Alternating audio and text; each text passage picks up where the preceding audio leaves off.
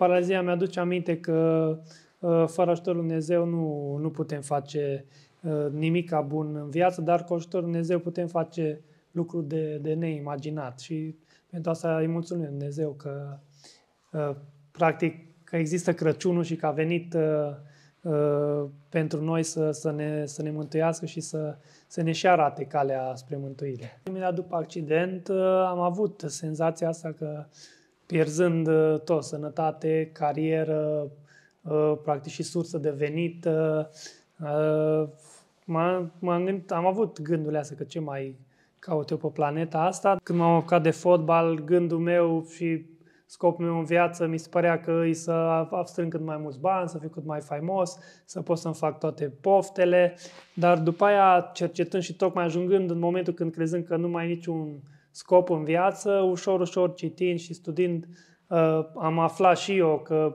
scopul omului pe pământ e să ajungă la fericirea veșnică. Trăit pe pielea mea și am simțit uh, ajutorul miraculos, practic, al lui Dumnezeu, care din uh, firea mea practic răzvrătită și care s-a dat bătută la un moment dat, uh, are născut. Nea Gigi a, a, a sponsorizat cumpărarea acestei mașini cu care am venit acum și atunci am vorbit ultima oară cu dânsul, am sunat să-i mulțumesc și uh, ne-a zis că oricând, uh, dacă avem nevoie, dacă ne împodmălim uh, cu uh, finanțele aici la, la proiectul nostru, că atunci era la început, dacă ne pot să-l contactăm fără ezitare, dar uh, slavă Domnului că am avut foarte mult ajutor uh, din partea oamenilor la acest proiect și momentan uh, nu ne-am podmolit. Mai mergeam cu Colinda, dar sincer, eu așa cum râd prietenii de mine că eu sunt foarte slab pe cântat, deși eu tot râd de ei și mă dau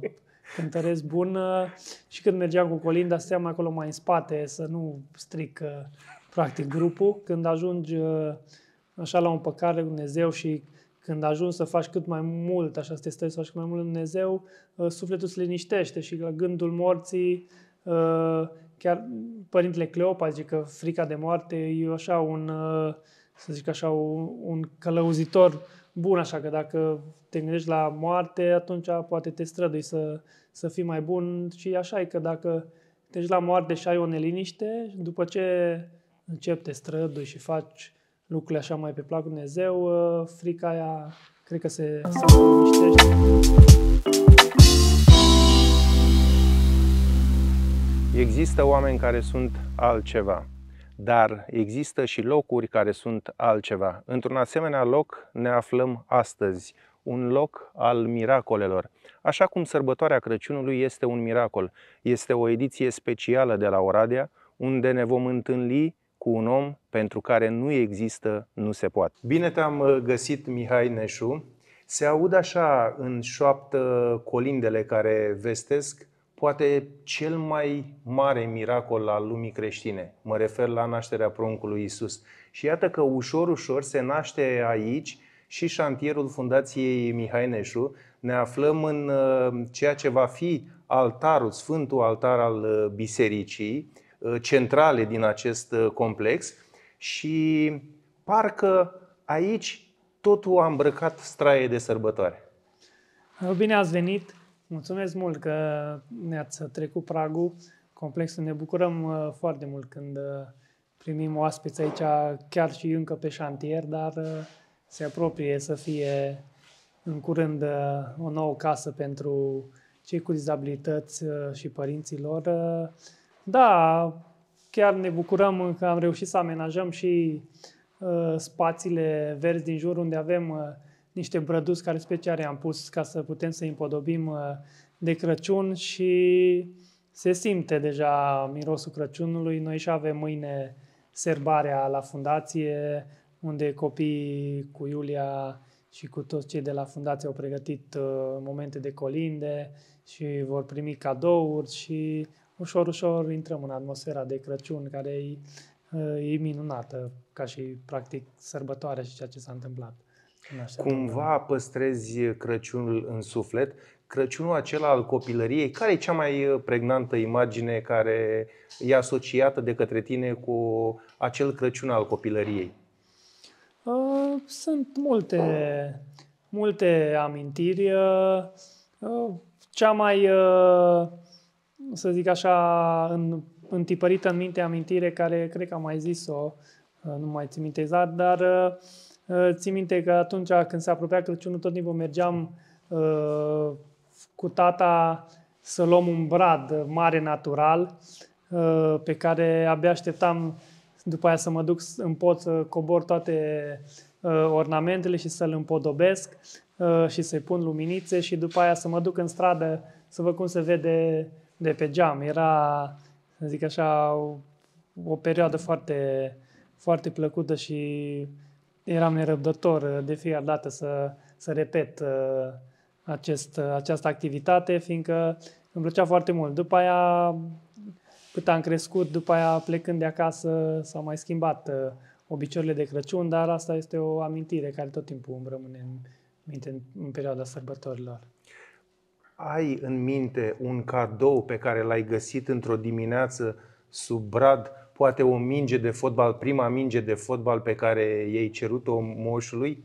Uh, nu, dar chiar acum că, că zici, uh, ți minte că am găsit un cadou uh, ascuns într-un dulap de tata. Era o pereche de ghete noi, loto, uh, de fotbal și eu eram foarte nerăbdător să primesc o pereche de, de ghete, să zic așa, profesioniste, cum uh, aveau fotbaliștii mari, erau atunci pe vremea, uh, când eram mic, erau la modă ghetele loto și eu, nu mai știu ce, cotrobuind pe acolo pe dulapuri, am văzut o pereche de ghete noi, nouți, exact numărul meu, și dar m-am făcut că nu le, când nu le văd și după aia, bineînțeles că, că le-am primit, uh, a fost o bucurie imensă să am și o primele, pere, prima pereche de ghete, zic așa, de fotbalist profesionist, deși eram încă foarte mic. Le lăsase acolo dinainte, Moș da. Crăciun, da. tocmai ca să ți le așeze tata sub braț sau mama.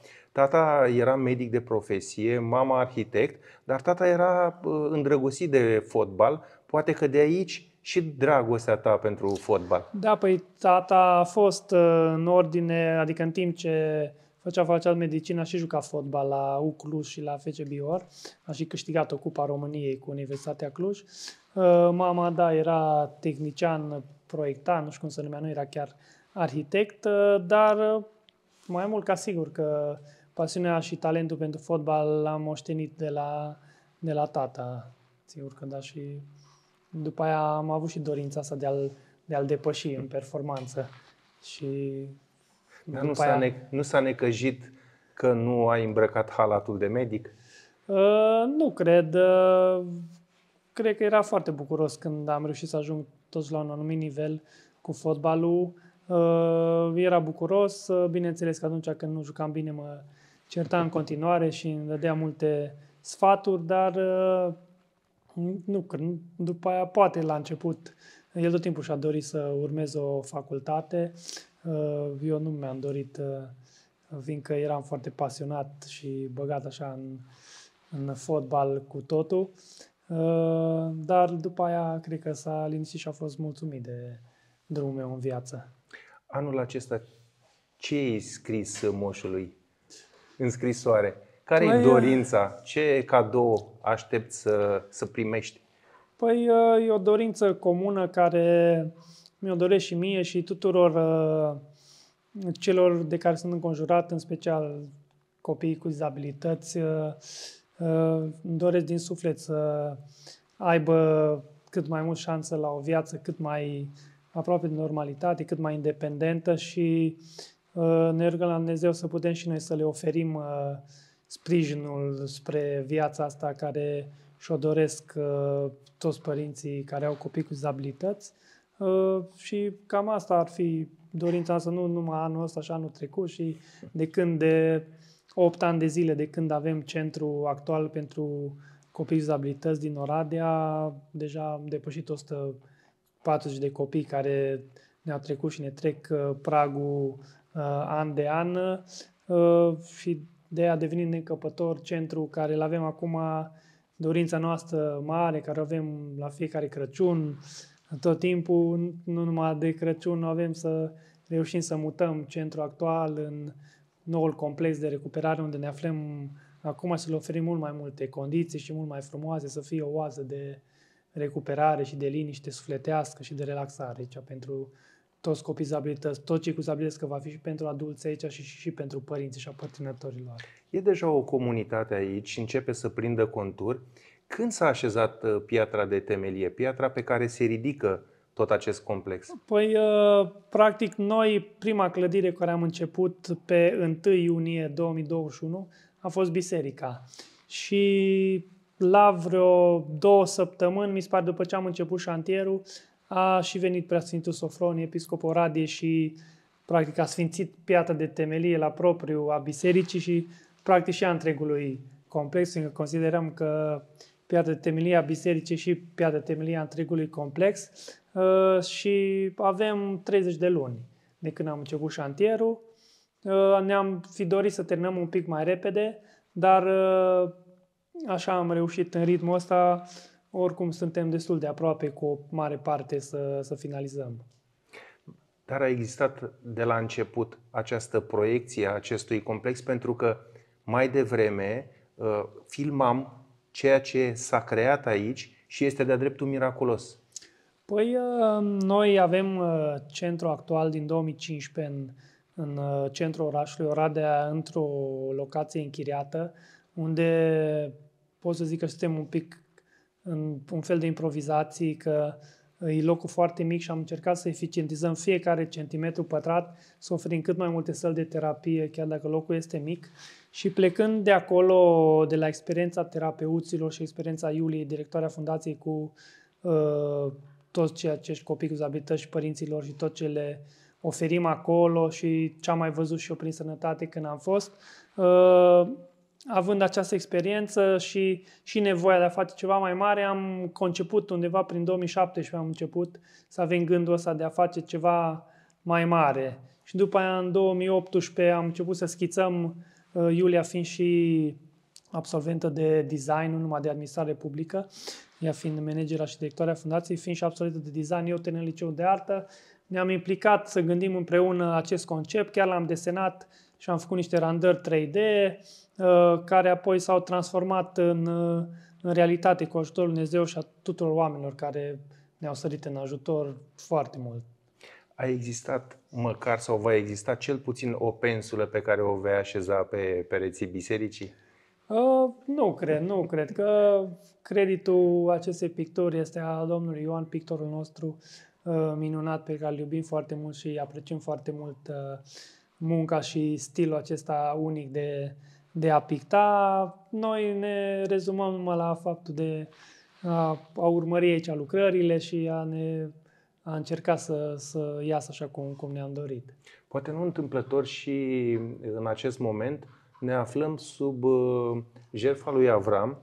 Este poate cel mai uh, uh, miraculos gest de credință din uh, istoria umanității exprimat uh, ca și episod biblic vorbește despre o credință atât de puternică. Avram care și îl încredințează, îl încredințează lui Dumnezeu pe fiul său Isaac, până la urmă sacrificiul nu are loc, dar iată că cu această credință s-a uh, construit uh, practic și temelia creștinismului și cu asemenea acte de, de credință.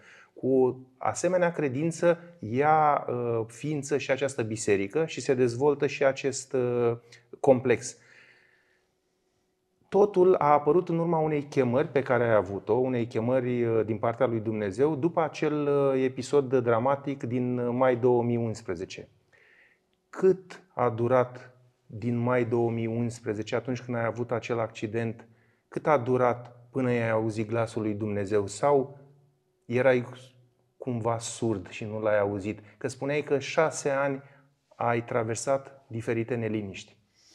Păi, Greu de spus, fiindcă noi uh, suntem, oricât am vrea să ne dăm, să zic așa, credincioși, eu cel puțin suntem totuși departe de Dumnezeu și foarte greu să discernem glasul Dumnezeu de toate gândurile astea murdare din mintea noastră, dar vreau să cred că după accident, uh, gândul care l-am avut uh, fiind acolo la clinică în Olanda, Uh, când vedeam uh, clinica aia frumoasă de recuperare și mai ales secția de copii de acolo și mi-a venit atunci gândul că dacă mă voi, eu nu aveam atunci niciun gând să mă întorc acasă, dacă mă voi întoarce acasă, să fac și eu ceva pentru copii din România, vreau să cred că acela a fost un gând de la Dumnezeu de la care a plecat practic uh, toată viața mea de atunci încolo, fiindcă uh, toată viața mea din, de după accident, bineînțeles, cum ai spus, cu toate frământările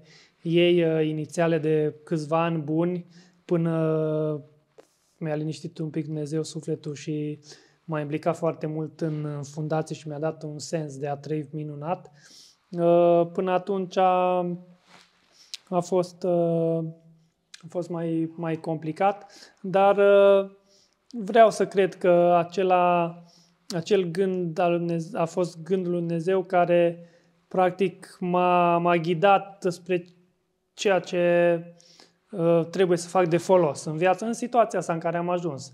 Practic, uh, fiind o, văd așa ca o pedagogie la Dumnezeu, accidentul meu care m-a ajutat uh, mult în viață și am mai spus și cu alte dăți, uh, pentru mine paralizia chiar la început a fost uh, ceva foarte greu de acceptat. Eu acum o văd ca și uh, un pedagog care e alături de mine tot timpul și uh, atunci când uh, poate eu iară mă simt prea bine și mă încred, ce știu eu, ce chestii fac eu, mi se pare că fac nu știu ce. Uh, paralizia mi-aduce aminte că uh, fără ajutorul Dumnezeu nu, nu putem face uh, nimic bun în viață, dar cu ajutorul Dumnezeu putem face lucruri de, de neimaginat. Și pentru asta îi mulțumim Dumnezeu că practic că există Crăciunul și că a venit pentru noi să, să, ne, să ne mântuiască și să, să ne și arate calea spre mântuire. Este Crăciunul și o sărbătoare care ne arată bunătatea lui Dumnezeu, pentru că anul trecut, în slujba de Crăciun, uh, vorbea uh, prea fericitul Daniel despre bunătatea lui Dumnezeu exprimată prin faptul că ne ni l-a dăruit pe Fiul Său. Și știm foarte bine că ni l-a dăruit până la urmă ca să-și ducă singur crucea. Dar uh, ai avut la un moment dat sentimentul că nu mai există niciun sens în viață? Da, am, chiar dimineața după accident uh, am avut senzația asta că pierzând uh, tot, sănătate, carieră, uh, practic și sursă de venit, m-am, m-am gândit, am avut gândurile astea că ce mai caut eu pe planeta asta, dar cred că tocmai gând, gândul ăla atunci de a, care mi-a venit, uite, vreau să fac și eu ceva pentru copii din România, dacă mă întorc în România, practic ăla a fost mica sămânță care a ușor, ușor a raudit în sufletul meu și uh, m-a ținut să lupt. Că după aia un prieten de-a meu din Olanda de acolo mi-a făcut fundația, zic, uite, uite, am și fundația, zic, cu fundația asta, zic, oare ce o să fac? Dar zic, uite, după aia, zic, pot să fac centrul la care m-am gândit, zic, numai să văd cum mă întorc în țară, că nu, zic, ce o să fac în țară, că acolo nu știu cum o să fie, că eu aici în Olanda am toate condițiile, dar după aia m-am întors în țară și a fost uh, totul minunat și uh, n-aș mai pleca de aici, de la noi, din țară. Mi se pare cel mai, pentru mine personal, cel mai frumos loc de pe pământ unde poți să trăiești așa de liniște și minunată la noi, la noi în țară. Uh, și mă bucur foarte mult că mi-a dat Dumnezeu curajul și voința de, de a mă întoarce, chiar dacă am avut oameni în jur care au fost puțin sceptici că voi reuși să, să trăiesc ca și persoană cu dizabilități în condiții bune la, la noi în țară, dar slavă Domnului că am reușit, am găsit foarte mulți oameni în jurul meu care mă ajută să pot să-mi duc o viață cât mai aproape de normalitate și pe deasupra să și ne ocupăm de, de alți copii cu dizabilități. Vorbeai despre întoarcerea în țară și uh, a lăsat ca moștenire Grigore Vieru, poetul Grigore Vieru, uh, o afirmație uh, extrem de, de vibrantă spunea că cel mai important lucru în această lume este să poți să te rogi în limba mamei.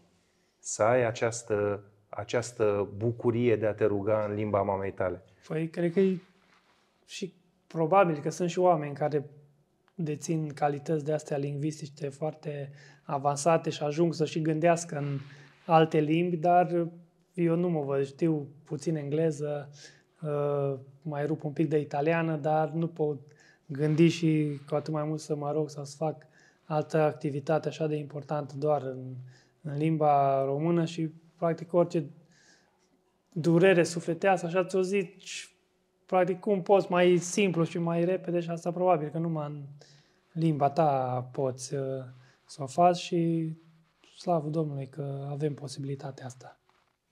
Care este sensul vieții? Vorbeai despre sensul vieții. Mulți îl căutăm, poate suntem orbi și nu-l găsim, de multe ori îl avem în apropierea noastră, în preajma noastră, îl avem la o întindere de braț și nu știm că e acolo. Sensul vieții poate fi și a fi de folos? Uh, deci, ca să pornim așa pas cu pas, de la scopul final al vieții, care zic Sfinții Părinți că este dobândirea Duhului Sfânt și fericirea veșnică și practic în Dumnezeirea, să devii Dumnezeu după har, care e cea mai înalt treaptă să fie scopul final, dar să fii de folos e un mijloc ca să poți să ajungi la acest, uh, acest cel final uh, și bineînțeles că eu când m-am apucat de fotbal, gândul meu și scopul meu în viață mi se părea că e să strâng cât mai mulți bani, să fiu cât mai faimos, să pot să-mi fac toate poftele, dar după aia cercetând și tocmai ajungând în momentul când crezând că nu mai ai niciun scop în viață, ușor, ușor citind și studiind, uh, am aflat și eu că scopul omului pe pământ e să ajungă la fericirea veșnică și practic la o îmbunătățire asta continuă, să devii tot mai bun, tot mai bun, dar să devii tot mai bun așa ca și fire, ca și sufletește, să te lupți în continuu cu uh, răul din tine și cred că pe parcursul vieții care uh, trebuie să fim conștienți că este plinul de greutăți. Toți oamenii au, au greutăți și uh, nu poți să zici că numai trăiești în plăceri și desfătări și bucurii uh, și multă lume uh, Uh, clachează când dă de greutăți, tocmai din cauza faptului, și și eu am clacat la momentul respectiv, la început, tocmai din cauza faptului că nu știm de la început, sau unii știu, bravo lor, uh, nu știm de la început care e scopul lui pe pământ, că scopul nostru nu e să facem aici nu știu ce lucruri care poate unii dintre noi nici nu avem posibilitatea să le facem, numai visăm la ele. Scopul nostru e la îndemâna oricui, indiferent uh, de stare socială, de sănătate, uh, fiindcă Dumnezeu, uh, chiar dacă ne-a făcut pe fiecare unic în felul Lui, uh, ne-a dat un scop comun. Vorbești despre greutăți cu atâta blândețe, de parcă se eliberează orice povară pe care ai purtat-o până acum. Și dacă vorbim despre greutăți, dar în egală măsură și despre miracole, tu ești povestea care arată că acolo unde Ehm, există credință în Dumnezeu, nimic nu e prea, uh, prea dureros, pentru că ai trecut prin acel episod uh, dramatic, s-au stins uh, părinții tăi ambii în același an și iată, au fost aceste momente de durere, dar au apărut și miracolele în viața ta. Și unul dintre aceste miracole este că, până la urmă, Crăciunul mărturisește miracolele. Unul dintre aceste miracole este faptul că ți-ai revenit fantastic, așa cum poate nu mulți medici ar fi pus uh, un diagnostic sau ar fi prevăzut că se poate întâmpla. Da, păi uh, așa este, am trăit, uh, nu e motiv de laudă sau așa, dar am trăit pe pielea mea și am simțit ajutorul miraculos, practic, al lui Dumnezeu, care din firea mea, practic, răzvrătită și care s-a dat bătută la un moment dat, uh, a renăscut și chiar uh, uh, văzând niște materiale comparative de interviuri de la început, de după accident, când la interviuri încercam să, să am un optimism, să se vedea o tristețe și o deznădejde așa o în ochii mei, da.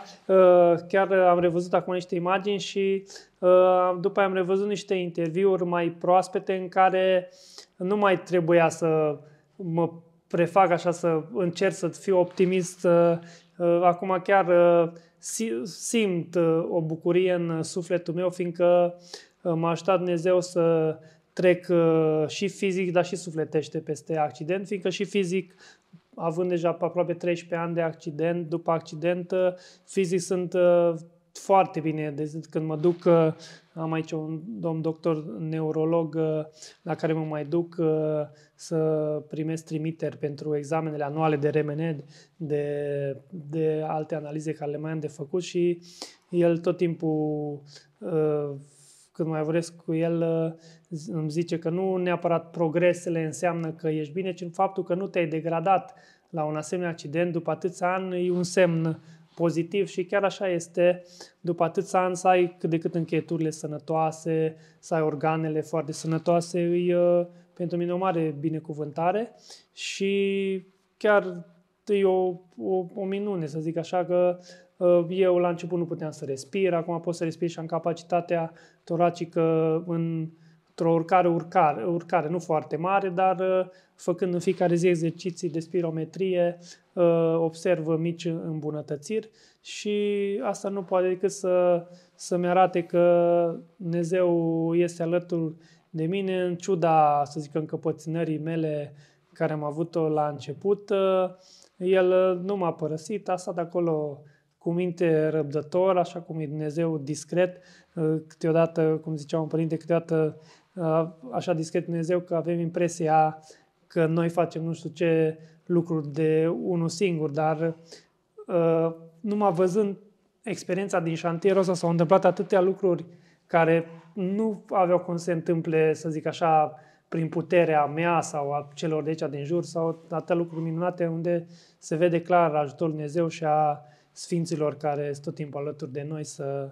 să ne ajute și așa că pot să zic că mult, uh, multe minuni, să zic așa, a făcut Dumnezeu cu mine, nu pentru mine, pentru bunătatea mea sau pentru credința mea, ci cred că în special pentru rugăciunile multor, la celor mulți care se roagă pentru mine, fiindcă am văzut după accident și și acum tot mai mult că foarte mult lume mă, mă iubește.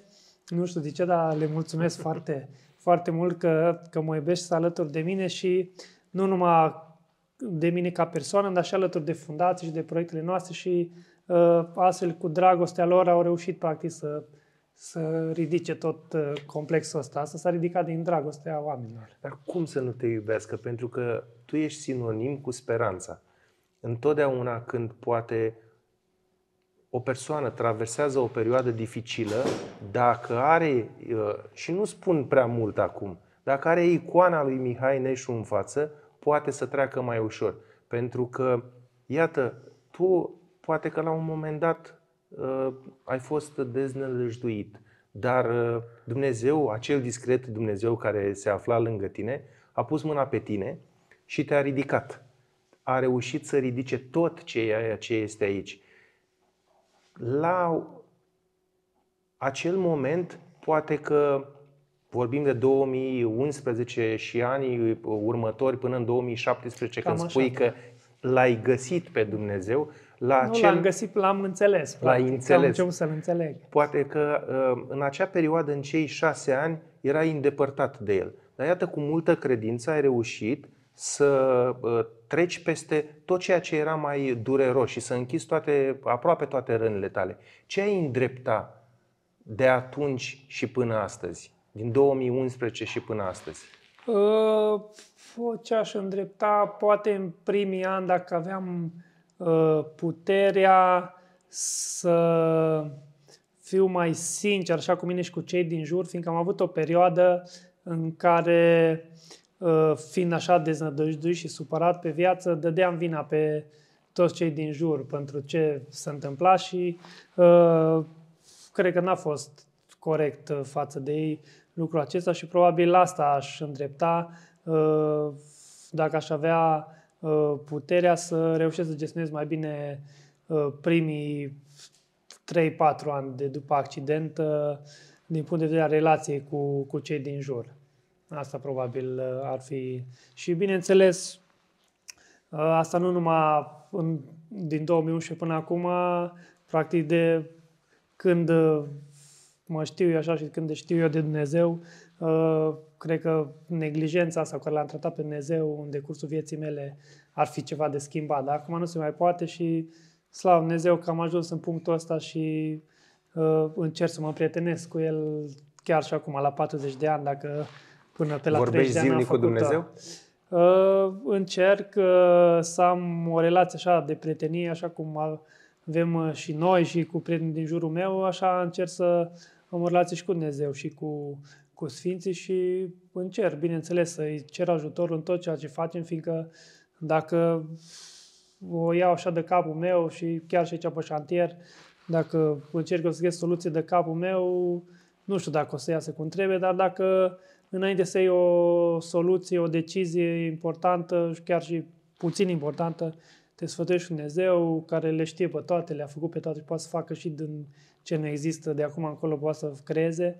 Dacă te sfătuiești cu El sau cu Sfinții care sunt și Dumnezeu după ar, uh, vine ajutorul nevăzut și noi am observat aici în jantier uh, probleme mari apărute, nu știi de, de nicăieri cum mai apar pe șantier și care s-au rezolvat uh, da, miraculos, așa, la prima fază le pui pe seama înțelepciunii oamenilor, așa, dar uite că putea să fim noi cei mai înțelepți și să nu facem, pot, numai un mic exemplu, am avut zile trecute niște infiltrații, le-am văzut într-o, într-o, într-o cazare, niște infiltrații printr-o priză, curge apă și cazarea e gata, finisată, aproape mobilată și zic, zic, curge apă, zic, de unde curge apă și vorbeam cu băieții, zic, nu, acum ce trebuie să fac? Păi zice, trebuie să spargem tot peretele de sus până jos, să vedem că undeva pe lângă Burlan venea infiltrații, că ei au făcut probă, au pus sus apă, o intra pe Burlan și undeva în Burlan era spart. Zice, mă, păi zice, spargem tot ăștia 4 metri,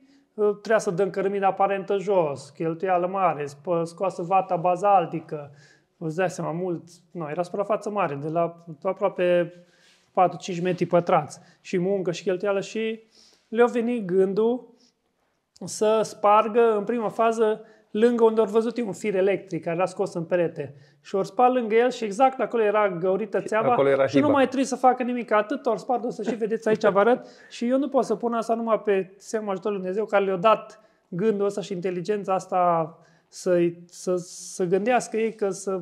Și practic era din greșeală, a fost spartă de uh, un muncitor în, în vară și nu ne-a zis și era străpuns așa bulanul lor, locuilor, reparat și gata. Ori dat câteva plăci de, de cărămidă jos, o reparat și s-a terminat tot în două ori, a fost gata reparat. Așa dacă nu ilumina Dumnezeu să începeam, spărgeam tot, făceam și poate nici nu vezi și așa multe s-au întâmplat, nu numai aici, dar șantierul a fost uh, o mare lecție pentru noi a ajutorului lui, lui Dumnezeu în rezolvarea multor probleme care noi la un moment dat le vedeam de nerezolvat și chiar ne, ne împovărau așa, ziceam, uite, Tony cu șantierul ăsta și numai tot felul de probleme. Da, deci ajutorul Dumnezeu e, e peste tot și e bine, e bine așa dimineața, un pic de timp așa alături de Dumnezeu și seara înainte de culcare, eu cred că e foarte de folos. Porți o rugăciune anume uh, în inimă? Uh, nu, eu încerc uh, să fac așa ce mă sfătuiește Părintele meu duovnic, să încerc zi de zi să am programelul meu care mi-l recomandă el și în rest, pur și simplu, încerc așa să vorbesc Dumnezeu, ca și cum vorbim noi. Că... Au fost uh, episoade când poate ai fost mâhnit uh, pe Dumnezeu? Da, tot în, la început, în perioada, uh, în primii 2-3 ani, 4 poate, uh, am fost spre Dumnezeu și reproșam uh, situația în care am ajuns și nu, practic nu acceptam cât, cum adică eu să ajung în situația asta când ziceam că alții, tot așa cum am zis, că dădeam vina pe azi, uite alții cum îți și eu de ce așa și nu, tot fel de reproșuri de asta, da, bineînțeles că am avut, am avut luptele mele cu, cu mine însuși și cu Dumnezeu, dar slavă Domnului că Dumnezeu nu-i răzbunător, nu-i supărăcios, El are numai dragoste și răbdare și discreție și uh, chiar din cauza discreția asta mare a Lui, câteodată nu ne dăm seama de ajutorul Lui și de faptul că e o lume nevăzută de asta care există și noi avem impresia câteodată că nu există din cauza discreției Lui Dumnezeu.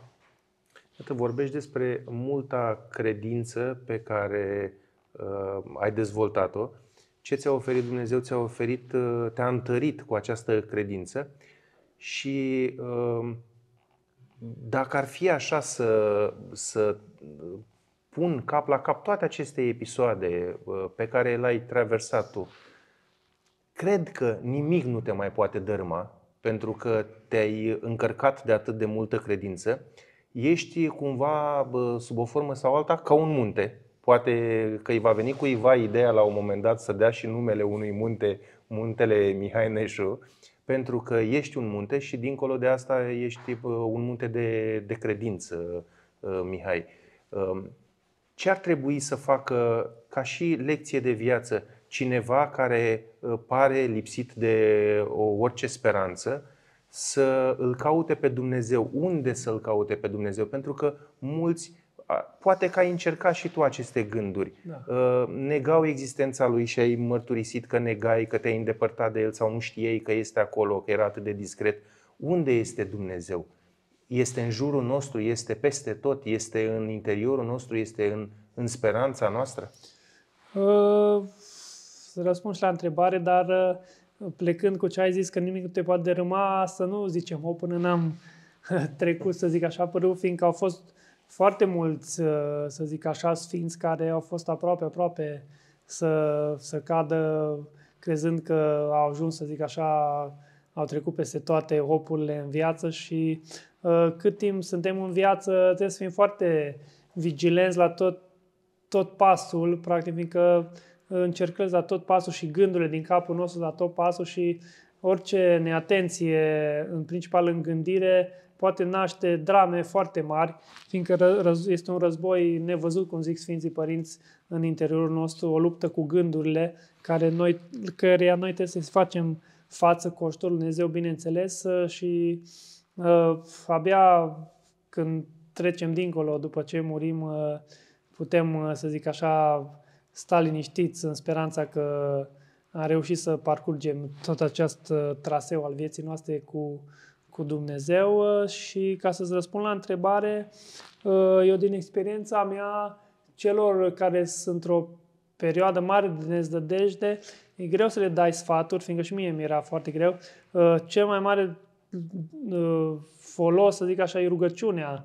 Pentru ei o rugăciune de asta comună, cum s-a făcut și pentru mine, care aia Dumnezeu o vede și atunci pune ceva și în inima acelui om uh, deznădăjduit și după aia el ușor, ușor, așa cum am reușit și eu, uh, ca să fac așa o mică rezumat al uh, perioadei cum am apropiat de Dumnezeu, deși eram răzvătit pe Dumnezeu, nu înțelegeam nimica din, din credință.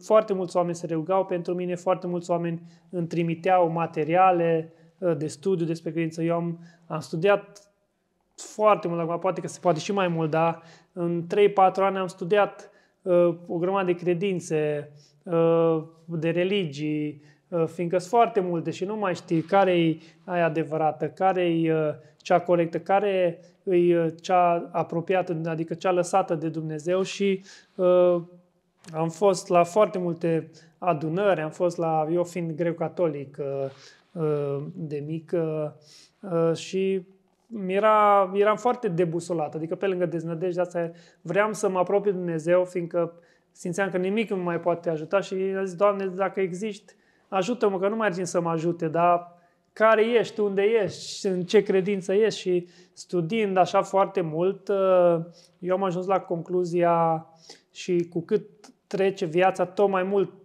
mă întreb, deși după ce am ajuns la concluzia am avut dubii încă, că credința ortodoxă este cea mai apropiată și cea care deține, să zic, cum zic Sfinții Părinți, rețeta vindecătoare corectă a sufletului uh, și după aia, cum am mai zis de multe ori, m-am botezat ortodox la 30 de ani, chiar în uh, apropierea Crăciunului, chiar acum, nu mai țin minte exact, dar acum 10 ani uh, eu m-am botezat ortodox și chiar după ce m-am botezat încă eram Așa, mă, că tot mai studiam și am avut îndoiele mele, că oare am făcut bine, oare că, că nu, nu, nu înțelegeam pe Dumnezeu, nu înțelegeam exact ortodoxia.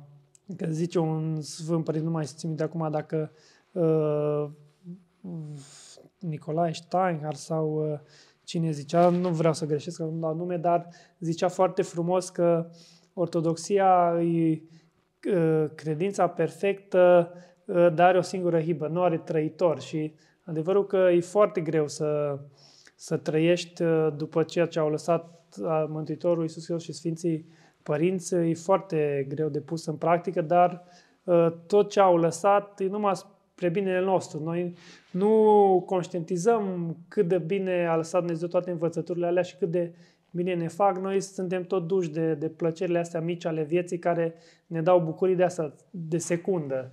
De secundă, dar după aia care au repercursiuni de... De bucurie, de, da, de, de fast food. Da, da. Și ne, în loc, noi suntem și proști, adică eu, eu mă refer la mine când zic că luăm bucurile astea de o secundă uh, și după aia care au repercusiuni uh, rele de câteva luni, ani sau ce știu, depinde ce uh, prostie ai făcut, în loc să alegem sfaturile astea minunate lui Dumnezeu, să încercăm să le punem în practică și ușor, ușor să dobândim bucuria aia care se întărește așa ca o fundație de aia puternică în sufletul și nu prea mai poate fi după aia Și care ne zidește în interior. Da, ne zidește și ca să finalizez și a răspund la întrebarea, Dumnezeu îi, uh, așa cum zice Sfântul Apostolul, că căutați împărăția cerului este înăuntrul uh, vostru, bineînțeles că e în suflet, de acolo în suflet nostru să căutăm, dar uh, na, Dumnezeu îi pretutindeni și Sfinții Lui și practic suntem înconjurați și pe interior și pe exterior de, de Dumnezeu. Ai primit uh, lumină, ai simțit că primești lumină și de la Muntele Atos? A, experiențele la Muntele Atos sunt uh, ceva deosebit, adică acolo sunt niște părinți foarte avansați, duomnicești, care îi simți la orice cuvânt îți zic, uh, le simți, să zic așa, înălțarea, așa apropierea de Dumnezeu și foarte mult m-a ajutat. Eu din 2015 am început uh, să merg în muntele Atos uh, cu ajutorul unui prieten, Mihai Răchițeanu, care săracul a murtit Dumnezeu să care m-a ajutat foarte mult uh, și merită să-l, să-l pomenesc. M-a ajutat foarte mult în perioadele mele grele în 2014 după ce au murit părinții mei. Am avut și probleme de sănătate foarte grave și el, având un cancer care a reușit să și-l vindece, Uh, adică a reușit să-și prelungească viața uh, cu vreo 10-15 ani, după aia săracul până la urmă a murit uh, acum un an și un pic. Datorită lui am ajuns prea deși n-am crezut. Deci el tot îmi zicea, zi, eu o să duc prima oară în Atos. Dar zic, cum o să mă duceți? Mi-a zis că e foarte greu, zic, acolo trebuie tot felul, nu nu și e chiar el m-a dus uh, odată, i-am zis, zic, am zis că merge în Atos în 2000 și zic, nea mi-a zis, mă duce și pe mine. Da, gata. Nici nu știm cum am ajuns, a fost minunat și de atunci nu ne-am mai oprit să mergem. Uh, am mers după aia cu Mihai, cu asistentul meu și cu mai mulți prieteni, tot mai bine organizat și părinții de acolo ne-au devenit prieteni și ne primesc în fiecare an. O dată pe an mergem în iulie de Sfinții Vatopedin. Mergem la Mănăstirea Vatopedu Vatoped. și stăm acolo, e foarte frumos, liniște și beneficiem de, uh, să zic așa, prezența părinților de acolo care sunt minunați uh, și care ne sfătuiesc. Uh, practic, uh, și proiectul acesta a plecat la binecuvântarea și la încurajarea lor, fiindcă noi aveam ideea, le-am prezentat-o lor acolo și totuși eram puțin așa cu un pas înapoi, fiindcă ne părea ceva foarte mare și chiar este, și acum că ne simțim depășiți de situație. Mi se părea foarte greu de realizat. Noi, că noi la fundație suntem o mânuță de oameni Iulia și cei de acolo din administrație și terapeuții care sunt acolo la centru actual, ei sunt puțin, dar fac cât poate 20 de alți angajați.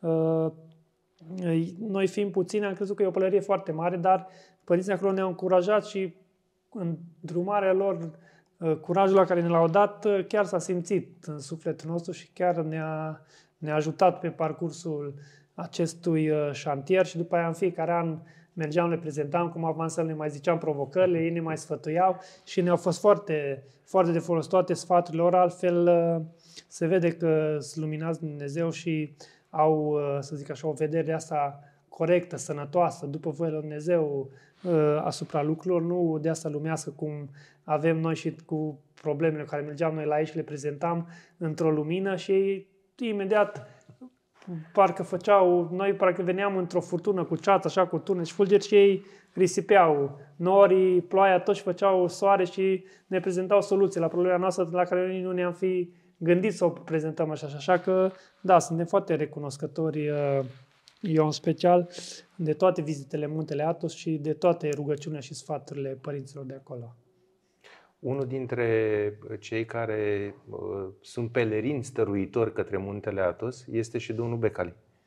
Se mai interesează de stadiul lucrărilor de aici? Uh, nu suntem chiar așa în contact. Uh, el uh, m-a ajutat uh, anul, cu 2 ani aproape. Uh, mi-a făcut un cadou uh, complice, a fost mie asistentul meu și Iulia, directora fundației, care uh, a văzut că aveam o mașină adaptată care numai probleme avea și nu prea mă mai ținea și de frică că o să rămân pe drumuri, că nu o să mai am cu ce să mă deplasez. Uh, au căutat un sponsor să-mi cumpăr o mașină nouă și au ajuns la, la Nea Gigi și Nea Gigi a, a, a sponsorizat cumpărarea acestei mașini cu care am venit acum și atunci am vorbit ultima oară cu dânsul, am sunat să-i mulțumesc și uh, ne-a zis că oricând, uh, dacă avem nevoie, dacă ne împodmălim uh, cu uh, finanțele aici la, la proiectul nostru, că atunci era la început, dacă ne pot să-l contactăm fără ezitare, dar uh, slavă Domnului că am avut foarte mult ajutor uh, din partea oamenilor la acest proiect și momentan uh, nu ne-am podmolit. Dumnezeu ne-a trimis mereu donații și în materiale și în bani și reușim să, să ducem în proiect, încă proiectul cu ajutorul acestor mult, multor oameni care, care ne ajută și încă n-am, n-am apelat la Neagi, dar... Despre fotbal Uh, n-am vorbit cu Nu cere sfaturi în privința Nu, acum nici eu, nici eu nu prea mai ies, uh, nici eu nu prea mai ies cu, cu fotbalul prea mult, fiindcă nu am efectiv Ai timp. vreme să urmărești? Da, uh, mai urmăresc așa când mă pun în pat. Uh, știu în principal toate rezultatele, că mai citez, mai mă uit pe rezultate, fiindcă îmi place sunt amator de statistici și îmi place foarte mult să, să urmăresc clasamente, rezultate. Uh, dar uh, un pic, un pic m-am îndepărtat uh, așa, de lumea fotbalului. Toată energia mea e canalizată aici la proiectul ăsta și la fundație. Acum vorbeam la începutul discuției noastre despre faptul că e vremea colindelor. Îți amintești în copilărie să fi mers, să fi colindat și tu? Și ce colind simți că Uh, porți în continuare în interiorul tău, în sufletul tău?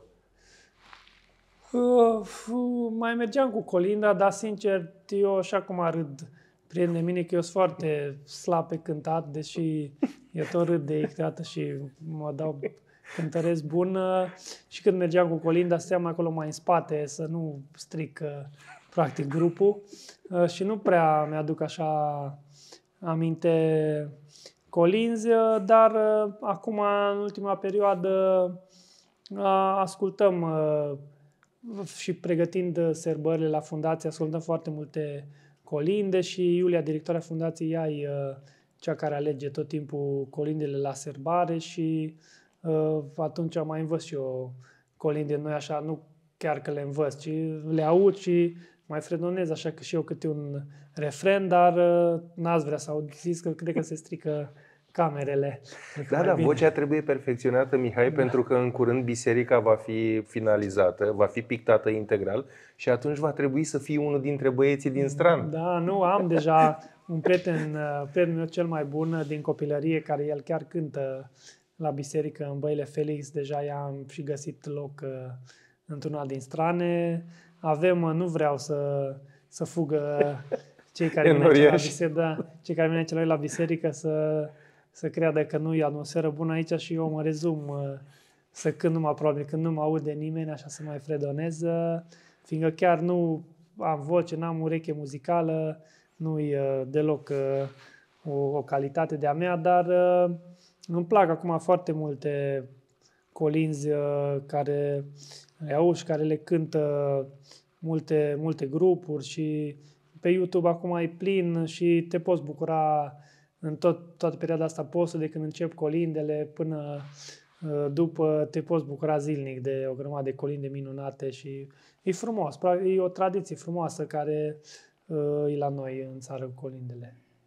Te ascultam într-un interviu, vorbeai despre momentele tale când ai avut uh, uh, sentimentul că atingi cerul și vorbeai despre două momente. Vorbeai calificarea în Liga Campionilor cu Steaua, după da. un meci pe Lia Manoliu cu Standard Liege, îți mărturisesc că am fost la acel meci. Cred că a fost unul dintre ultimele meciuri pe Lia Manoliu, vechiul stadion. Da, da, da. Ulterior a fost fost demolat. Au mai fost, da. Și a mai fost o calificare cu Utrecht. A mai fost o da, calificare. Da, da, da. Dar când ai atins... Aia a fost ceva nesperat, adică a fost calificarea cu Utrecht, Utrecht fiind o echipă medie, așa că scuze că te am întrerupt, uh, calificarea în Champions League a fost ceva așteptat și era un fel de responsabilitate, adică toată lumea se aștepta să ajungem în grupele Champions League, era ca și un fel de obiectiv. Dacă le ratam, era ca și un fel de dezastru, dar în schimb la Utrecht, fiind o echipă de uh, mijlocul tabelului, nici nu ne așteptam, adică patronul, fiind un patron extraordinar, domnul Franz, care a salvat echipa de la faliment, uh, nu mai exista el dacă nu prelua echipa, el avea ambiția să și-și dorea, dar uh, așa, fiind realiști, nu multă lume credea că e o echipă capabilă să ajungă în grupele unei cupe europene și după aia și parcursul fiind foarte greu, că am jucat cu cu Lucerna din Elveția, care erau foarte buni. După aia am jucat cu Celtic Glasgow, care erau an de an în Champions League și nu s-a așteptat, mai ales că noi pierdusem în tur 2-0 la Glasgow și nu s-a așteptat nimeni uh, să ne calificăm și noi în retur, uh, nici nu mai știu cât am bătut, 3 sau 4-0, dar oricum uh, ne-am calificat și a fost după așa un parcurs frumos în grupe. Noi căzum chiar cu Steaua, uh, era atunci Marius Lăcătuș antrenor. Uh, am jucat cu Liverpool, cu Napoli, a fost o experiență minunată și uh, de aia a fost ceva extraordinar așa sufletește să știi că ai ajuns cu o echipă de nivel așa mai mediu, într-o, unde nu multă lume se aștepta. Era un vis, adică toată lumea își dorea, dar așteptările nu erau acum chiar ca la Steaua, unde era alte așteptări. Da, știi? Ai rămas în contact cu suporterii olandezi? Uh, acum, Îți mai scriu? Da, chiar uh, acum așteptăm în ianuarie un băiat care a făcut un maraton și a strâns bani pentru fundație, un băiat din Olanda, uh, și a zis că vine în ianuarie să ne aducă, au strâns vreo aproape 3000 de euro uh, și mai îmi scriu, m-a mai, au mai venit aici olandez, au fost și patronul de la Utrecht anul ăsta cu o fată care era acolo angajată la club când eram eu și care m-a ajutat foarte mult uh, în uh, integrarea mea acolo. Uh, a fost patronul cu soția lui și am petrecut niște momente frumoase ce împreună. Deci oamenii nu, nu m-au uitat, să, sunt foarte recunoscători că se gândesc așa la mine și chiar vin și mă vizitează. A fost și unul dintre colegii mei de la UTE, Dries Mertens, care e unul dintre cei mai buni fotbaliști din Europa, chiar și acum când deja are o vârstă mai înaintată, și el m-a vizitat uh, aici la Oradea și încă l-așteptăm, fiindcă el ne-a ajutat foarte mult cu, cu sponsorizări când juca la Napoli. Aproape an de an, 20-30 de mii de euro ne dona și uh, e o mare bucurie să știi că uh, acolo unde ai fost, uh, oamenii te țin minte și se gândesc la tine și din când în când uh, care pot te vizitează, care nu-ți mai dă un mesaj, mai te întreabă ce mai faci. E un sentiment uh, foarte frumos. Să nu fii uitat de oameni. De altfel, uh, cel mai important este să nu fii uitat de Dumnezeu, deși Dumnezeu nu ne uită niciodată, noi uităm noi de El. Da. Te, um, evocam aceste momente și spuneam că atunci, din punct de vedere fotbalistic, ai atins cerul cu mâna în cele două momente, dar când ai atins, când ai avut sentimentul că ai atins cerul cel mai uh, recent. Poate că s-a întâmplat săptămâna trecută, acum o lună, uh, sau în fiecare dimineață, atunci când nu știu, te uiți către păi, cer. Nu e ușor acum să fii la nivelul ăla de, să zic așa, de bucurie uh, în continuu în viața ta și da, sunt momente când uh, simți așa că te un ajutor la Dumnezeu foarte mare și atunci ai impresia că, cum se zice, l-ai prins pe Dumnezeu de un picior și uh, ai așa o bucurie imensă.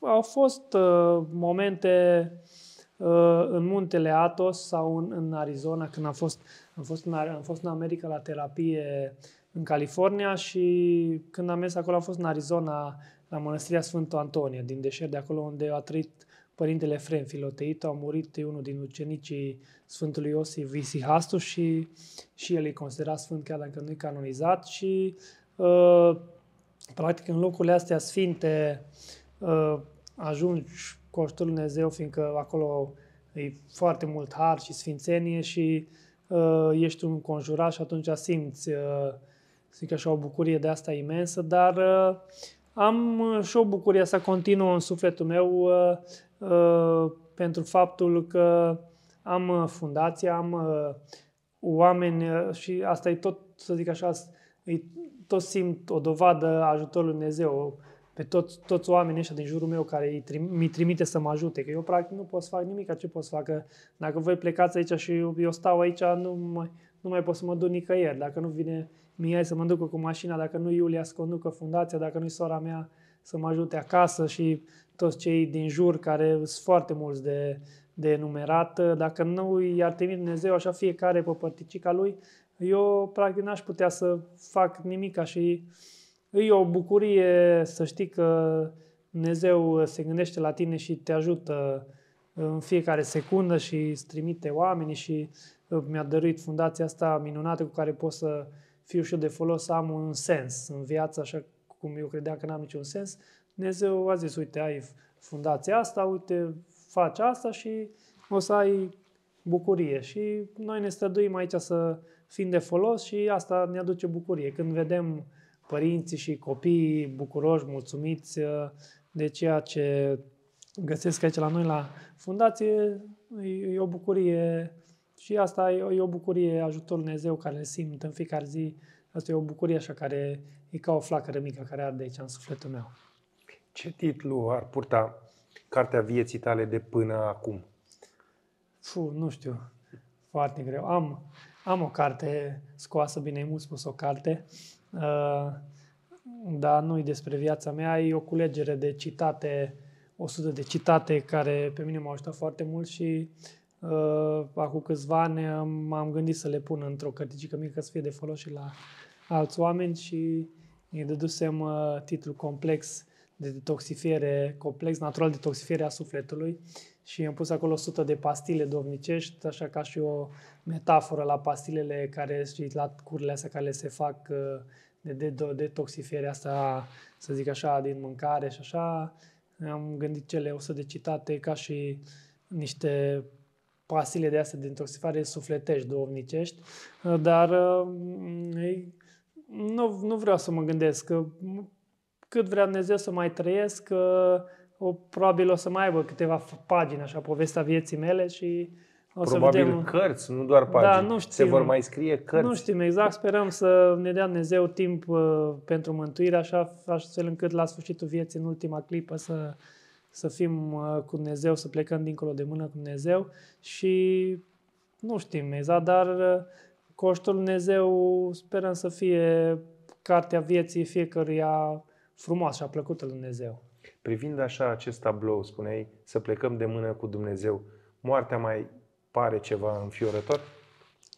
Păi, dacă ești împăcat cu Dumnezeu, nu mai pare, dar totuși ai uh, uh, gândul al necunoscutului, că totuși te rogi la Dumnezeu, uh, ai nădejdea, cum asta și trebuie să nădejdea în viața veșnică și în fericirea veșnică, dar ai totuși, uh, să zic așa, un pic neliniștea asta necunoscutului și a felului cum uh, o să te va Dumnezeu, fiindcă noi putem gândi omenește, nu prea înțelegem bunătatea asta și dragostea asta imensă al lui Dumnezeu, uh, nu, nu înțelegem. Nici dacă adunăm bunătatea și dragostea la toți oamenii din lume, o adunăm și o punem acolo împreună, bunătatea și dragostea Dumnezeu e mult mai mare și mila Dumnezeu și din cauza că nu le putem înțelege, de multe ori uh, și poate și din cauza că nu facem cât ar trebui voie lui Dumnezeu. Uh, dacă ne gândim la moarte, puțin ne avem panica asta, dar mm, așa din discuții și cu părinți, cu Sfinți Părinți și Muntele Atos, când ajungi uh, așa la o împăcare cu Dumnezeu și când ajungi să faci cât mai mult, așa să te stai să faci cât mai mult în Dumnezeu, uh, sufletul se liniștește și la gândul morții, chiar Părintele Cleopa zice că frica de moarte e așa un să zic așa, un, un călăuzitor bun, așa că dacă te gândești la moarte, atunci poate te strădui să, să fii mai bun și așa e că dacă te la moarte și ai o neliniște, după ce începi te strădui și faci lucrurile așa mai pe plac Dumnezeu, uh, frica aia cred că se, se mai liniștește și Coștul Dumnezeu ajunge așa la sfârșitul vieții să plece în păcat, liniștit. De altfel, mulți uh, Sfinți Părinți vorbesc despre uh, dulcețea morții în sensul acesta de regăsire, de găsire a lui Dumnezeu. Chiar Părintele Galeriu, la un moment dat, într-un dintre ultimele interviuri, spunea că uh, va muri liniștit știind că îl va întâlni pe Dumnezeu și că a fost viața poate mai chinuitoare decât moartea. Păi viața, da, este o cercare, adică și Dumnezeu zice că în lume necazuri veți avea îndrăzniți și după aia completează-le îndrăzniți, uh, eu am biruit lumea, adică nu trebuie luat pasajul doar în lume necazuri veți avea și să te deznădăjduiești, trebuie luat complet, uh, fiindcă practic asta e frumusețea Evangheliei, că ea nu trebuie luate numai pasajele alea care ne convin, Uh, bune sau rele. Punctuale, episodice, da, ea, ce are o perspectivă ea e, largă. Ea e o perspectivă universală, largă, de la începutul Universului până la sfârșit. Uh, totul este, are, un, are un rost. Și atunci e clar că viața uh, față de veșnicie, dacă ajungem în veșnicie cu Dumnezeu, e mult mai, mult mai, mult mai grea, dar Ziceam eu, un, un părinte în Muntele Iată zicea că aici, în uh, timpul vieții, noi suntem ca la o facultate, unde tot dăm examene, cercăm să le luăm, pe când și să terminăm să ne luăm diploma pentru, pentru veșnicie. Și probabil că așa și părintele, dacă noi el simțea deja lucrul ăsta, e clar că era într-o stare domnicească foarte sănătoasă și aproape Dumnezeu și să dea Dumnezeu tot să simțim uh, lucrul ăsta la, la un moment dat și mai ales când suntem în pragul morții. Când ai plâns uh, la un asemenea examen de curând?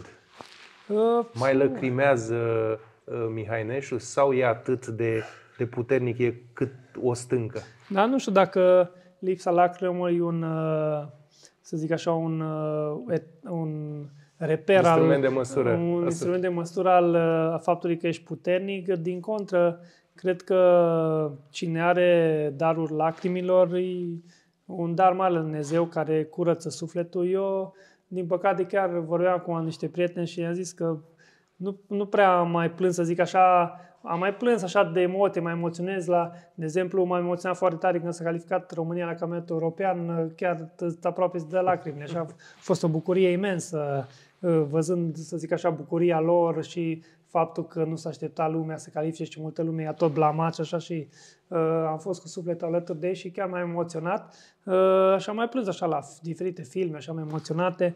Mie îmi place foarte mult să mă uit la filme bazate pe fapte reale, care sunt unele sunt foarte emoționante și da, așa să plângi, așa de la tine, așa de, de tristețe sau așa.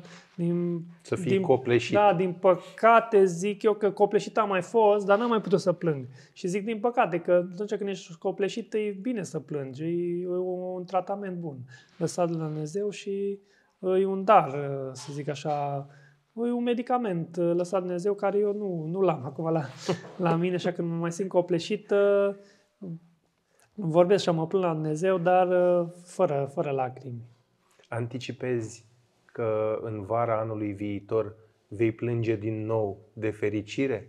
Poate semifinală la campionatul european și vei plânge pentru națională? Semifinală? De ce nu finală să îndrăznim? Nu știu, nu vreau să mă gândesc ca să nu fi după aia dezamăgit. Eu sunt foarte bucuros că au ajuns acolo, au o grupă cât de cât normală, nu ușoară, dar putea să aibă și o grupă în care nu aibă nicio șansă, nu mai mergeau să bifeze niște meciuri foarte, foarte tari, dar în grupa asta au cât de cât șanse mai apropiate cu celelalte echipe și să dea Dumnezeu să se autodepășească, să facă niște meciuri minunate și să ne, să ne, să ne bucure. Eu sper din tot sufletul să alături de ei.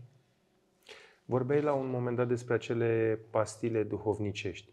Ai o pastilă duhovnicească favorită? Fu, păi cam... Ceva pe care, pe care o ingerezi, una pe care o ingerezi tu Uh, am una pusă, în mod periodic. am una pusă pe ușă la mine în camere, care o văd zilnic de la Sfântul meu preferat, Sfântul Serafin de Virița, uh, care zice nu cum vrei tu, ci cum vrea Dumnezeu.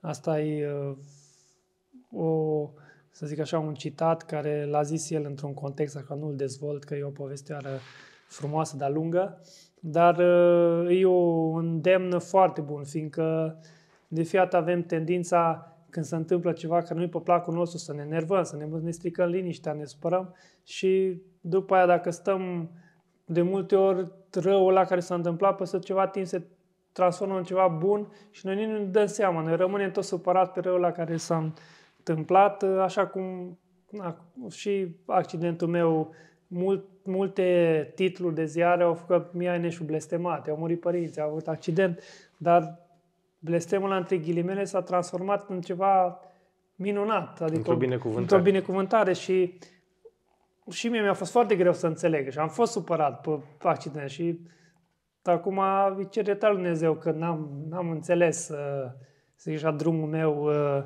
în, de atunci încoace, că n-aveam de unde să văd eu ce îmi rezervă viitorul și atunci asta nu cum vrei tu, ci cum vrea Dumnezeu, cred că e un demn uh, foarte bun care te ajută să, să răzbești în viață. Adică atunci când se întâmplă ceva rău, să stăm un pic, chiar dacă uh, tin să te superi.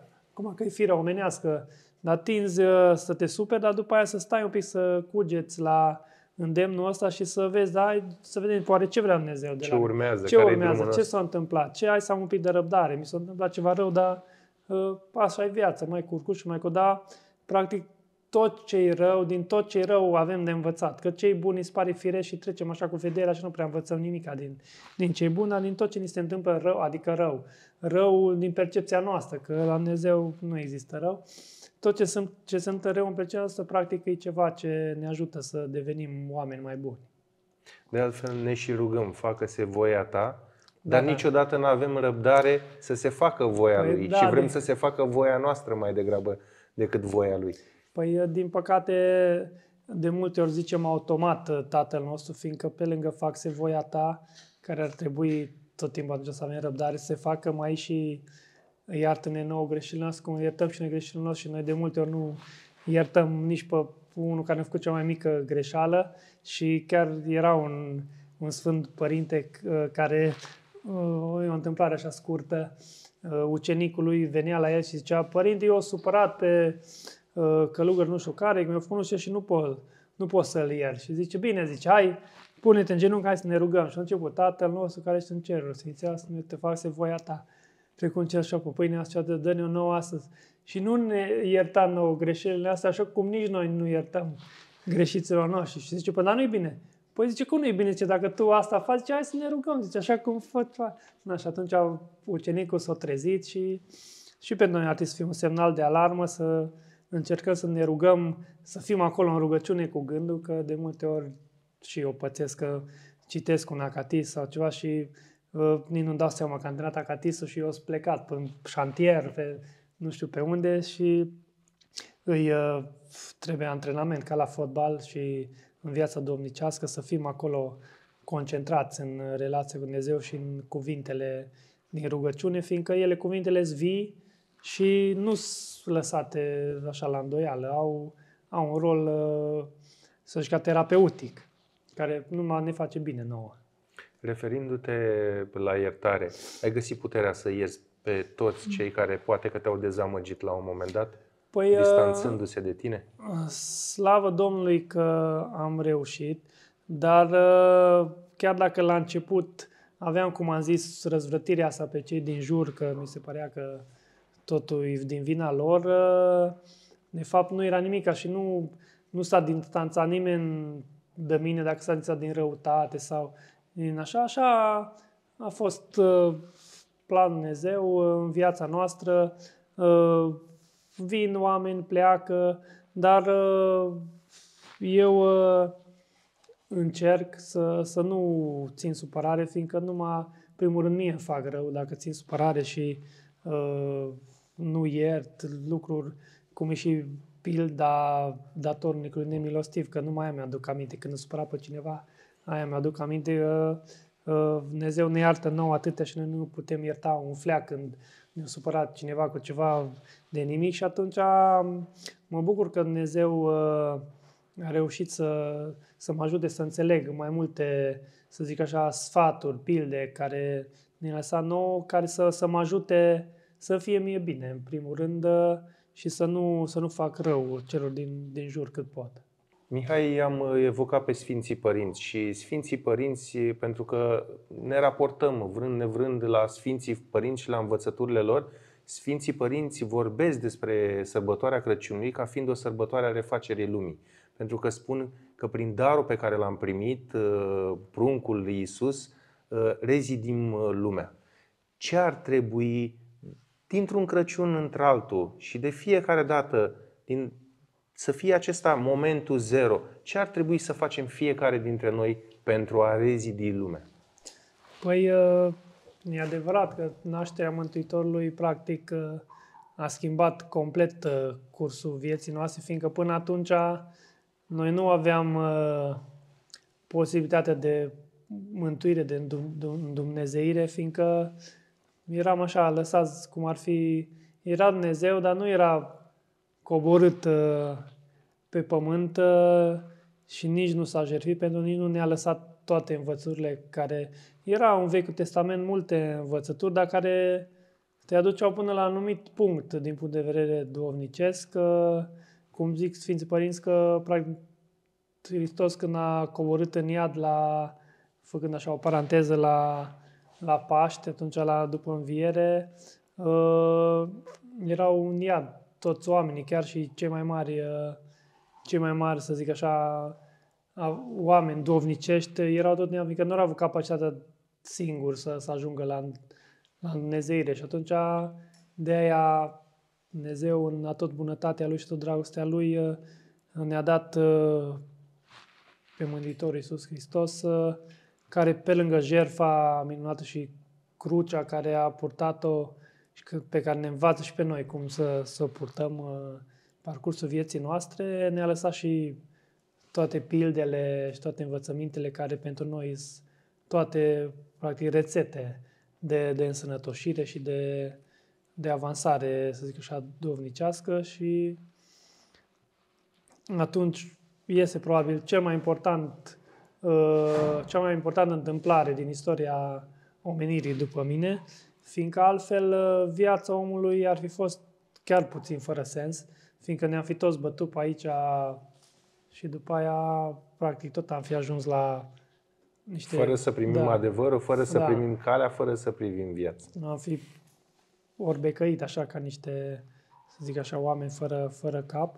Uh, și ca să răspund la întrebare, probabil ar trebui să învățăm uh, mai multe din această naștere a Mântuitorului Iisus Hristos și din toată viața Lui uh, pe pământ, adică toată uh, întruparea Lui, să vedem cum a trăit El aici pe pământ și să uh, încercăm să, să imităm și să rezistăm, așa cum a rezistat și El la toate încercările la care, greutăți la care a fost supus și totul să încercăm alături de Dumnezeu, fiindcă dacă El uh, ne-a arătat cum se face, el și știe și uh, deține, să zic așa, soluțiile la toate problemele noastre și alături de Dumnezeu să, să ne luptăm, să fim în fiecare zi mai buni decât uh, ziua precedentă, să rugăm pe Dumnezeu să ne dea putere să, și ajutor să, să nu ne îndepărtăm de El, să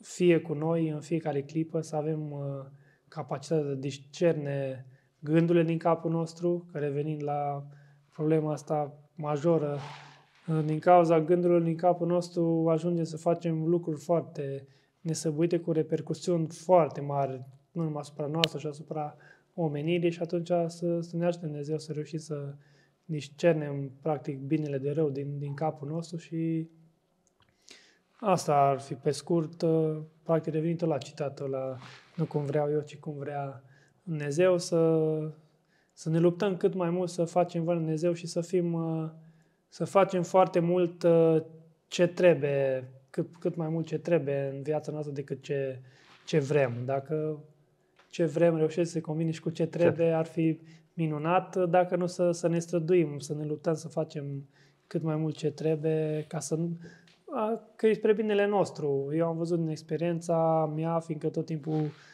e ușor să vorbești din ce ai citit și în asta, dar din experiența mea am observat că dacă n-am făcut ce trebuie, am avut de tras după aia tot felul de lucruri rele și suferințe și suflete și tupești. Atunci când am încercat să fac lucrurile în voia Lui Dumnezeu, au fost și bucurile foarte mari și uh, lucrurile din jurul meu care s-au întâmplat au fost mult mai frumoase decât m-aș fi imaginat. Deci Dumnezeu uh, multiplică, practic, toată bunătatea care ne putem noi imagina când facem lucruri după voia Lui, uh, totul e mult peste ce ne putem imagina. Te ascultă acum și parcă se dezvăluie taina Crăciunului. Crăciunul înseamnă iubire, înseamnă comuniune cu Dumnezeu, înseamnă bunătate, de aici poate și uh, momentul acesta care ne îndeamnă la a dărui, la a fi bun, la a îmbrățișa pe ceilalți, la uh, a asculta pe ceilalți și a le acorda atenție, pentru că poate pentru unii darul cel mai de preț este uh, să, să-i asculți să le ștergi lacrima, nu neapărat să acoperi cauza sau să-i vindeci, ci pur și simplu să simtă că ești acolo.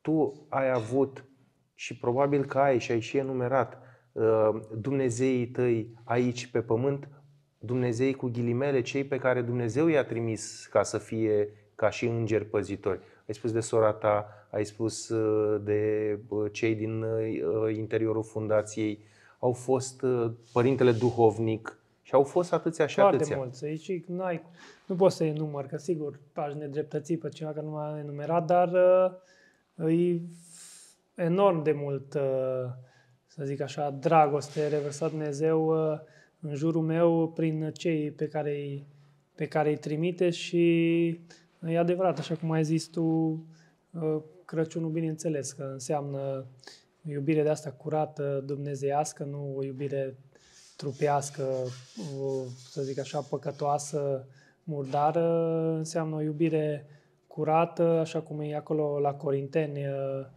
enumerat ce înseamnă dragostea.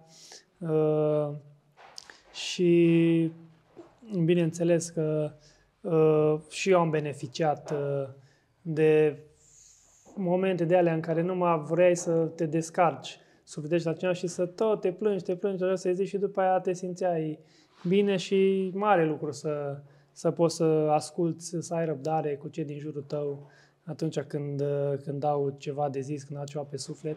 Dar și pentru asta, bineînțeles că e, e frumos să ai prieteni apropiați la care să suflet, dar cred că cel mai, cel mai de folos îi să ai un duovnic uh, care el are și capacitatea de a discerne ceea ce aude. Noi de multe ori uh, uh, avem în jurul nostru și, și noi ne plângem sau se plânge în jurul nostru la noi și așteaptă un sfat, o îndrumare și noi nu avem capacitatea ca un duovnic să-l îndrumăm și de multe ori poate greșim, poate îl îndrumăm greșit, de aia Dumnezeu a lăsat duovnicii pe pământ tot așa ca și o completare la toate rețetele astea care ni le-a dat în Evanghelie, practic Domnicul e doctorul uh, lăsat Dumnezeu uh, pe pământ uh, să, să ne ajute să ne, să ne îndrume după voia, voia Lui, să înțelegem mai bine chiar și taina Crăciunului și toată taina lui Dumnezeu. Și bineînțeles că de asta spovedanie și după aia împărtășanie cu uh, binecuvântarea Domnului ne, ne curăță și ne apropie și mai mult de, de Dumnezeu. Ne, practic, gustând din trupul sângele lui Isus, uh, e uh, ca la transplantul de sânge. Când faci transplant de sânge, de multe ori am auzit că, sau de organe, am auzit că oamenii preiau din uh, stările și calitățile sau defectele celui de, care, de la care a luat sângele sau organele și așa și cu Sfânta Împărtășanie, chiar dacă multă lume crede că e o fabulație, e o chestie adevărată. nici eu n-am crezut, adică nu, nu vorbesc ca și unul care a crezut de la început, dar uh, Sfânta Împărtășanie chiar uh, în taina este trupul, Sfânt, uh, trupul și sângele Mântuitorului Iisus Hristos și chiar are un ajutor extraordinar din punct de vedere al, al vindecării sufletești.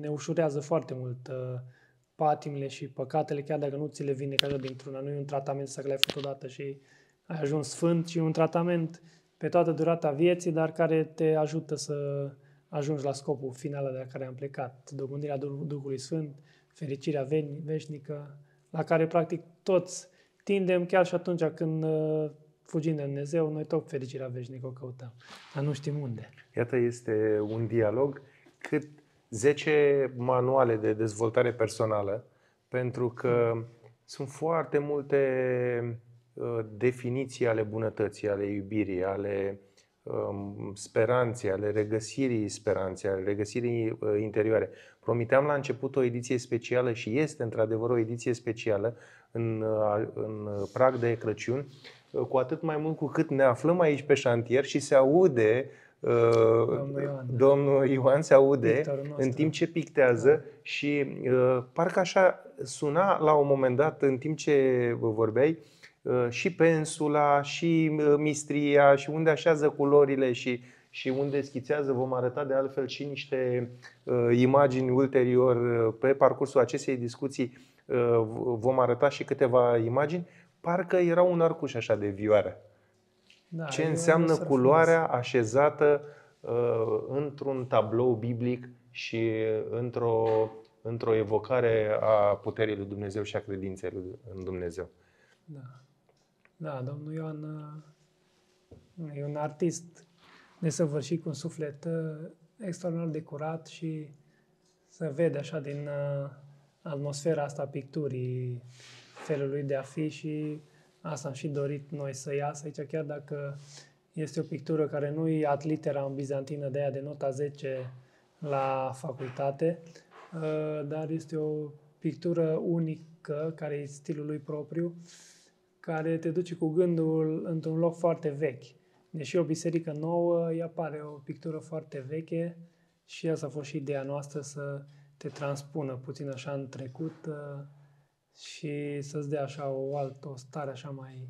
O stare de curățenie. Mai, mai de liniște, așa mai de pace, uh, decât să, să nu te apese așa cu... să nu pară o operă de artă mai mult decât o... Fiindcă pictura bisericească este în primul rând uh, o lucrare dovnicească care de să ne apropie și mai mult de Dumnezeu. Este o poartă către Dumnezeu. Da. De multe ori când suntem în biserică ne fuge gândul mai te miri pe unde și atunci, uitându-te pe pereți, mai revii la locul unde ți aduce aminte unde ești.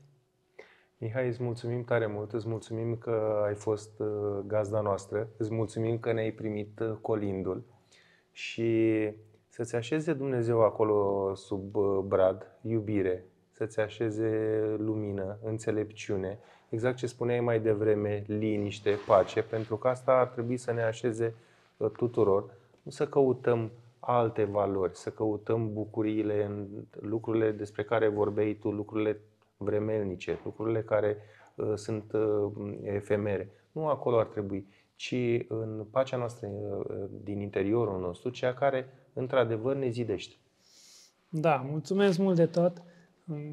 Foarte tare m-am, m-am bucurat uh, că ați venit. Uh, chiar mă gândeam uh, acum așa în prag de sărbători, cine o să ne treacă pragul așa din uh, partea asta media, că tot timpul de sărbători uh, vine lumea pe aici și noi, uh, chiar dacă avem în continuare foarte mare nevoie de, de ajutor pentru a termina uh, centru complet și îndemnăm în continuare pe oameni să trimite câte un SMS cu cuvântul La ce cred. număr? Uh, un SMS cu cuvântul cred la 8844 donează 2 euro și astfel ne ajută în continuare și le mulțumim uh, din suflet tuturor celor care s-au abonat. Hai să facem acum un uh, exercițiu. Uite, trimitem un, da. un SMS la 8844 scrie cuvântul cred în mesaj. Și cuvântul cred în mesaj. Da. Cred și 8844. Da, trimiți. Doi pe La verde. Așa, a plecat. 8844, cred. Mai prim mesaje. Trebuie să primești un mesaj. Mihai Neșu și Vodafone, îți mulțumesc, da. donezi lunar Asta de îți vine euro pe și altul, ajuți da. copiii cu Vine pe alt dizabilități. număr și asta ziceam că eram foarte curios să vedem cine ne mai trece pragul din, uh, din partea voastră a televiziunii, a presei, cum ar fi, fiindcă uh, e un mare ajutor uh, care ni-l acordați, faptul că ne vă gândiți la noi și astfel putem face public uh, și cere ajutor, fiindcă f- fără ajutor noi nu puteam face nimic aici de, de unii singuri și le mulțumim din suflet tuturor celor care ne-au ajutat până acum și care o să ne ajute și în continuare și ne dorim din suflet uh, sărbători fericite și uh, le doresc ce îmi doresc și mie să înțeleg cât mai mult pe an ce trece ce înseamnă nașterea Mântuitorului pentru toți uh, oamenii de pe planetă și să reușim să,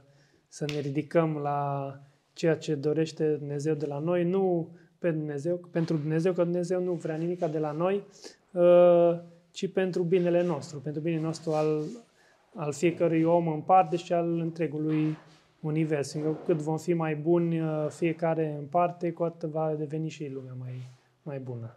Iată, și oriunde vă aflați, puteți să împodobiți acest brad uriaș uh, care se numește Fundația Mihai Neșu la 8844 Cu cuvântul cred. trimițând cuvântul cred și Da. veți primi confirmarea faptului că ați uh, contribuit, ați împodobit, ați pus uh, un globuleț în, uh, în Da. bradul Fundației Mihai Și Neșu. mai mult, că dacă donezi ani de zile, ai și un zid aici.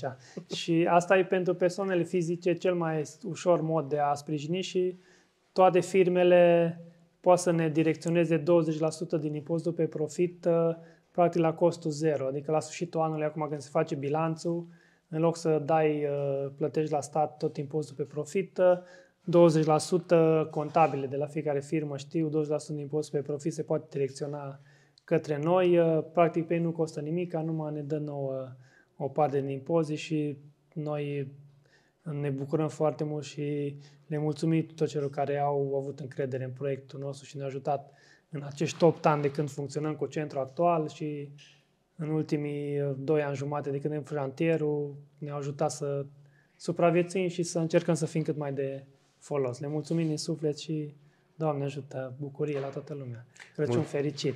Mulțumesc uh, deopotrivă, Mihai. Dragilor, vă mulțumesc și vouă să aveți un Crăciun fericit cu bucurii uh, de la Dumnezeu și uh, cel mai important să simțiți că se zidește acolo în interiorul vostru pacea, liniștea, că apar că apare speranța și că puteți să și dăruiți și să fiți buni. Crăciun fericit, uh, noi ne revedem uh, săptămâna viitoare la o ediție specială de Revelion cu maestru Ionel Tudorache.